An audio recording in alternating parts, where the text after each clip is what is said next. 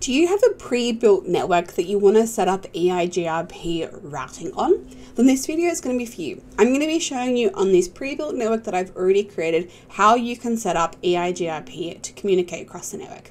If you want to see the video on how to build this network, including setting up all the different parts and the EIGRP, I will link my full video in the description. If not, this was just going to show you how to do the EIGRP. So to start off with, I'm going to show you that this network doesn't actually work when you want to go outside of a router. So if I want to ping 192.168.1.11, this will work because we're within this same little network here. But if I try to ping PC2, it will fail because it cannot communicate across the different routers just yet. Okay, so now with that, let's set up these routers. I'm going to start with router 0. I'm going to open up, go into CLI mode and type enable. Then I'm going to go into conf t to get into configuration mode. And now I'm going to set up the EIGRP. So I'm going to tell it router EIGRP1. So now I'm in the configuration for this and I need to tell it the networks. So the networks I need to tell it are my little one here for the switch, which is a one. So network 192.168.1.0 and then I need to tell it my two going to the two different routers, which is 10 and 12. So I'm going to write network 10.0.0.0. And then I'm just going to do the up arrow, go across and change the 10 to be 11 and press enter. Now I'm going to do exit, exit, write memory, exit. So now router 0 is configured. I'm going to repeat this process on router 1, CLI mode, enable conf t router EIGRP1. Now the networks I need to tell it is the 2 one here. So network 192.168.2.0 and I need to tell it 10 and 11.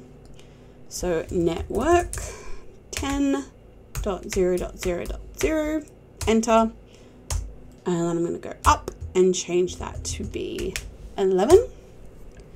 And then I'm going to do exit, exit, write, memory.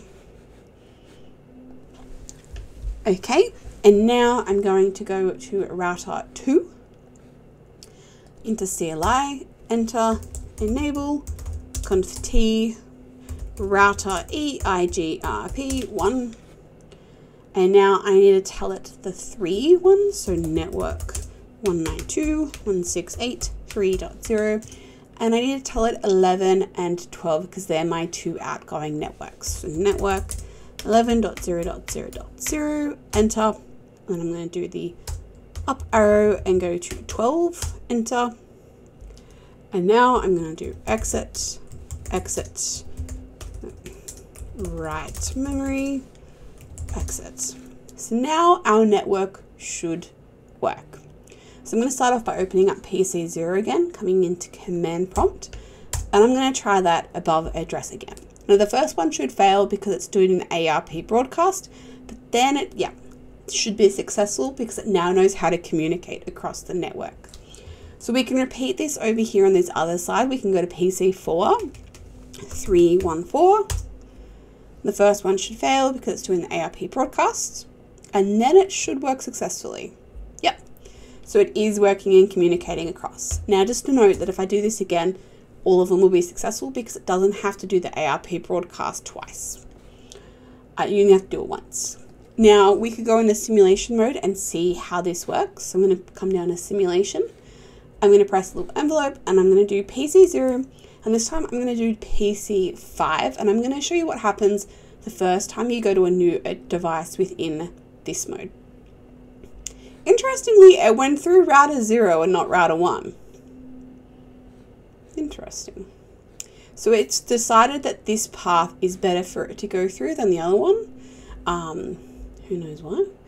So let's try that again now. So that first time it goes through all the different things, trying to do the ARP broadcast, STP, uh, all those different things to understand the network. And once again, it has gone through router zero to do this communication.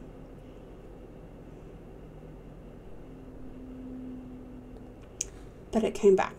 So I wonder if there is a little bit of an error here in the configuration. So we can have a look. Oh yeah, there is. There you go. So I'm actually doing troubleshooting in real time in this video too. I put in 11 when it was meant to be 12. So I can fix that. I can come into enable conf t and I want to do router EIGRP1 and I'm going to do network 12.0.0.0.0 exit exit write memory. Okay so now you actually see like if you do make mistakes you can generally pick it up when you try to do these sorts of things.